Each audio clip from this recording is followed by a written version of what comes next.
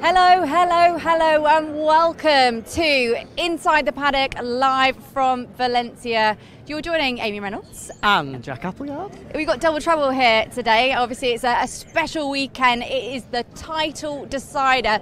Two titles are up for grabs MotoGP and Moto 2. We've just had our free practice one sessions, and if there was ever a statement of intent to make, Jack, Fabio's done pretty much just the job, right? Well, officially, as of now on Friday afternoon, if a freak monsoon was to hit Valencia and points were to be awarded, given what happened in free practice one, then Fabio is world champion. So that that is a possibility. I mean, it's, a, it's out there. I'm not going to lie. I think a tornado is perhaps more relevant considering the weather conditions we've had so far this weekend. Glorious sunshine, as you can see right now. But this morning in free practice one, started off as a bit of a tailwind down the straight for Moto 3. By the time we got to MotoGP, windy, very, very, very windy. windy. To the point where for the MotoGP guys, I don't think it's going to cause them too many issues, but certainly the guys on the smaller bikes, yeah. the Moto 3, really problematic. Luckily, yeah. it has died down now. Um, but it causes a bit of a surprise, though. I mean, where's this wind come from? It's like we're used to it when we're sort of near to, to coastal venues, yeah. whether it be Phillip Island, uh, in the desert as well in Qatar, often the wind can pick up there, but quite a surprise for it to be as gusty as what it is. It's all uh, the people steaming in through the doors, it's busy. It's busy, ready. Eh? It's good to see how many people are in the paddock the as well. Everyone excited for the decider, as are we as well. But as you said, a great start for Fabio, yeah. and I think important for him in a weekend when he is up against the odds that he can apply the pressure nice and early. Well, you said it to me earlier. I think Marc Marquez, you were overhearing something he was saying, and in fact, that's exactly what he would be doing. Come on into the weekend, apply the pressure early. That's the only thing he can do. And Maio Meregalli was chatting to Simon Crafar in that session, and even Maio said the pressure is off them. Yeah, no, it is completely and utterly. I mean, he says that, but you know, uh, he's got to win. He does have to win, but I, I, do agree with Fabio that he has got nothing to lose. He can go out there, try his absolute maximum, and if that results in a championship, then what a story it would be. Yeah. If not, no one's expecting him to do anything. Whereas Pecco, all the pressure is on him. I'm sure for the past two weeks, everyone has just been telling him, oh, it'll be easy in Valencia. All you need to do is rock up and score a point, and the championship's yours. Which I'm sure by Sunday at about five to two will sound uh, a task slightly easier said than done. Absolutely. And um, we're just keeping our eyes out and seeing if we can steal anyone to have a chat with. The other thing I don't know if you spotted as well, obviously Fabio has got this it's not a fractured finger, is it? Well, it is a fractured finger. Yeah, it is. Uh, and it wasn't giving him too many issues, he said, in the race in Malaysia, but he was at least stretching it out, wasn't he? Yeah, I saw him struggling. At one point, he sat up, and yep. it was the, the middle finger, the tip of the middle finger on the left hand, which he'll have surgery on following this weekend. And he, he was in some discomfort there. So I would imagine, guessing that head of free practice one, no painkillers were necessary. Come Sunday, he will take the painkillers to make sure yeah. that it's as manageable as possible. But but perhaps yeah. unsurprising because he basically put in almost race distance. He did, yeah. Which, as you say, unsurprisingly, was feeling the pain if he didn't take any painkillers. Yeah. Uh, and on the Saturday in Malaysia, the pain did worsen as he went through the day. Crashed out in free practice four. Yeah. And then by the time Q2 got underway, that's when real concern was started. Uh, obviously, following Q2, then got it x-rayed and checked and realised that there was a break in there. So, despite two weeks healing, jumping on a MotoGP bike for the first time, I'm sure yeah. will have uh, sort of caught his attention as it did. But for Pecco, though, not the start to life he would have wanted. Outside the top 15, 17th overall. But we don't know what strategy they're going for, do we? No, and I think we've we've seen that quite a lot from Pecco yes. this year. Certainly. It didn't really jump out as me as at this point to be anything too worried about. No, no. Uh, as we said, we, have seen Should it. Grab Izan. Yeah, go on. We'll grab Izan. He's currently. Ah, uh, current mate. Oh, surprise, surprise. Sorry, mate. Surprise, sorry. Did we sorry, interrupt your sorry. play there? Who Who are your friends? No. No, not your friends. You're not going to tell us. Not yet. No. Okay. New friends? Uh, no, nothing. No. Okay. Oh, okay. Good man. I like your style. I like your style. Uh, Mallorca. You managed to go home yeah. after the World Championship. Open top bus, big celebration. That was party. It, was, it looks special. I come my mechanics, my team, and I big party in, in one uh, hotel. And yeah, I'm really happy with uh, this receive uh, for me. And I heard Amy as well. It was a big party in Australia. I was Yeah. there. I mean, that doesn't Australia. surprise me. Australia also. Quite big, I heard. I was, I was there, and I, I could see that there was a bit of partying going on, but well deserved as well. Looking forward to. Yeah, how are you feeling about this weekend? How was it out there this Uh, morning? this wind, we were just chatting about the wind. feeling, the feeling is really good. I'm, I'm really happy because I'm riding in Spain. My objective for this race is uh, win Yeah. because I win three or four in Spain. This is the four, uh, four in Spain, and I my, my objective for this race is, is the win. Good man, good man. You Good say luck. that, I'm going to try and grab Maio. Thank you. We'll see you soon. Izan's on his way. Meanwhile, Amy is hopefully going to grab a word with one of the men of the moment, Maio, Maio are Meregalli, just right with now? Amy. Are you running in for a meeting? Just oh chatting grab- away. We're live. So, oh, hello. I didn't realise you were following us. I thought you were still there with Jack. Jack, come in. Come on. Come in, come in, come in. Yes. One beer. I owe you one beer. Why do I owe you a Because I was in a rush, but she stopped me. So it was my fault. I'm the one So paying the this- beer. Basically, At home, it's always my fault with my wife. Now it's your turn. he's passing the buck. This is my paddock wife, so yeah, it Yeah. is my fault. Um, Maya, we were just saying, in terms of a statement of, of intent, that FP1 session was pretty, pretty spot on for Fabio. That's exactly what you want to know. And like, in terms of the amount of laps in there, he's not shying off this weekend at all, as you would expect. No, not at all. We are uh, pretty satisfied as we started, but you know, usually on Friday we are always very competitive, and then uh, we lose some uh, competitiveness uh, day by day or session by session because the other are able to improve more than uh, than us. But um, he was feeling better compared last year on the bike, and uh, I did not uh, complain uh, part of the win. a decent start. And uh, I think and I hope we might find something uh, to, to try to improve the bike even though I didn't say anything because I was pretty satisfied. But this time if we have to take uh, a risk we might take.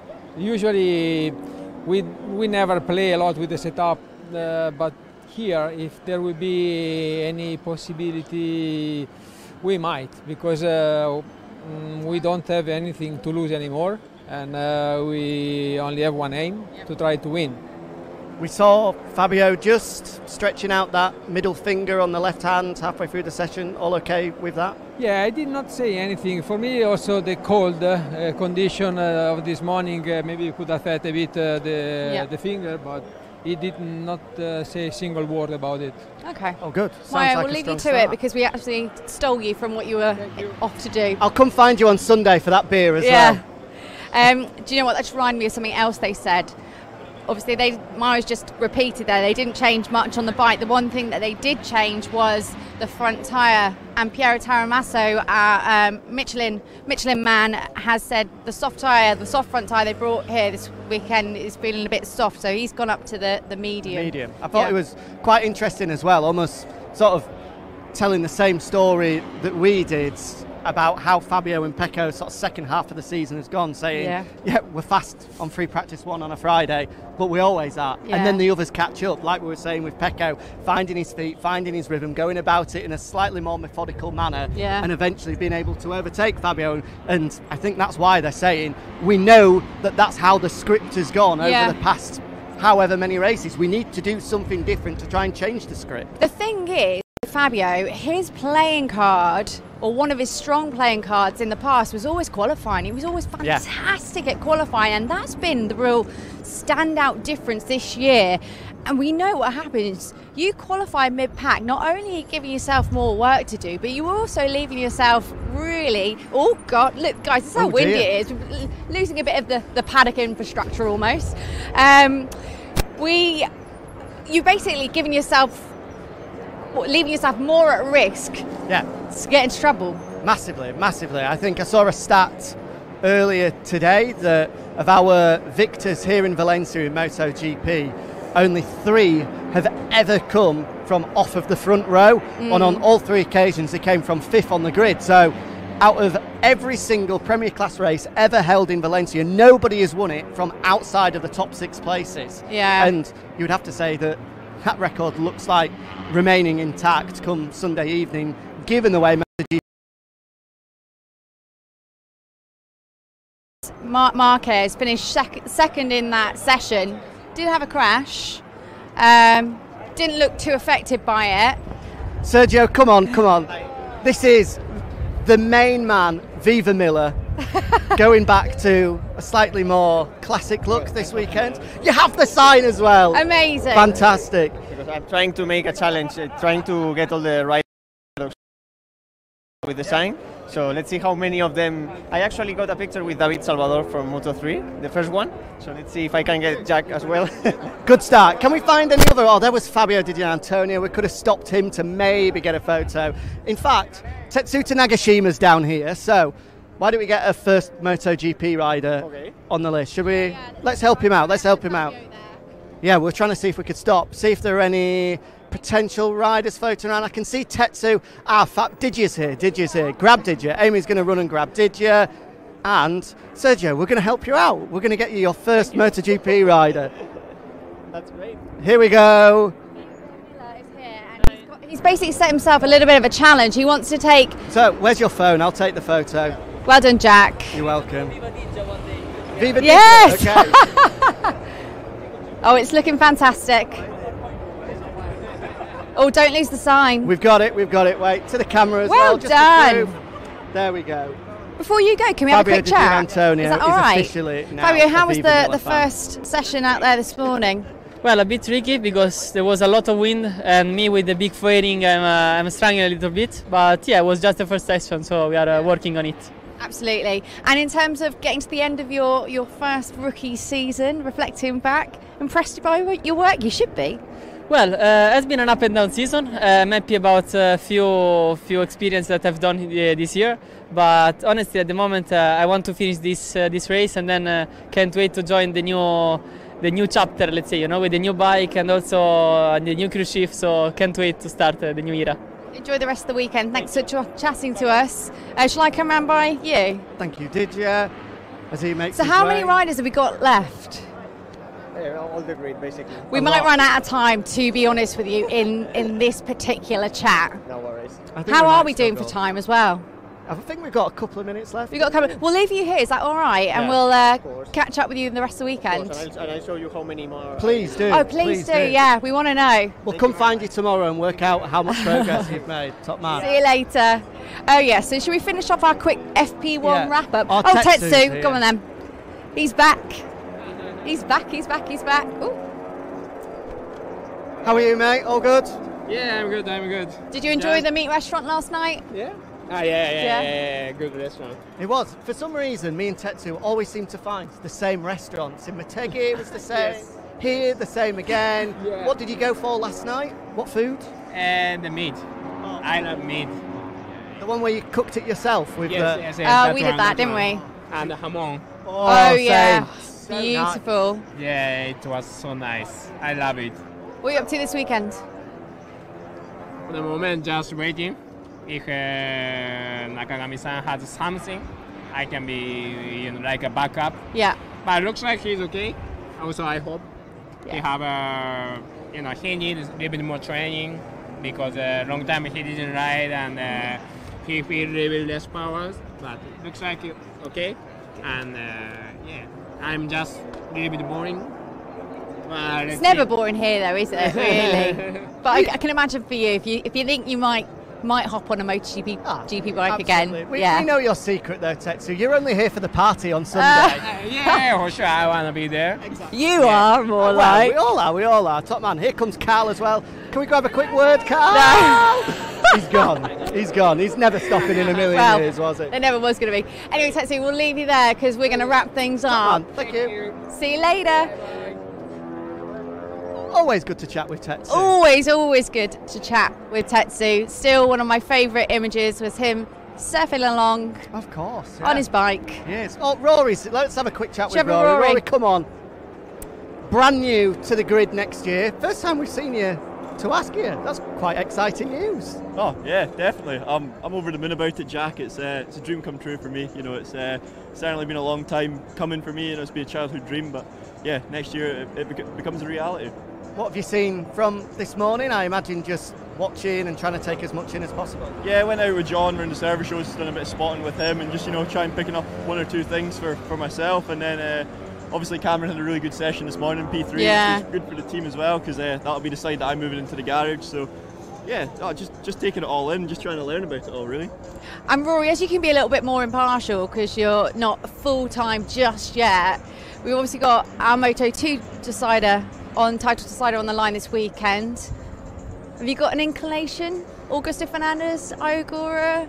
I think I think I you know kind of throw, thrown it away a little bit at the weekend at, at, in Malaysia, but you know it's, it's Moto 2, it's all to play for. You never know what's going to happen. Valencia's had some uh, pretty wild wild deciders over the years, yeah. and uh, yeah, I'm sure it'll be a great one no matter what. Thanks for stopping by and having a chat with us. Top man, good to see you. Jack, I think we're going to have to wrap this up because you and I are really kind of waffled on. Waffled on a wee and we need bit. some lunch as well. We do need some lunch, and it's back there. Anyway, quick wrap up. Marc Marquez uh, joined Fabio Quartararo in the top three, along with Brad Binder. KTM were trying out a new chassis. I'm sure we'll see more of that this afternoon. Anything else we should point out? Uh, no, not really, because to be perfectly honest, I don't think anybody particularly cares about anything other than who's going to win the World Championship. I mean, I'm pretty keen to find out. Anyway, for myself and Jack, we will bid farewell.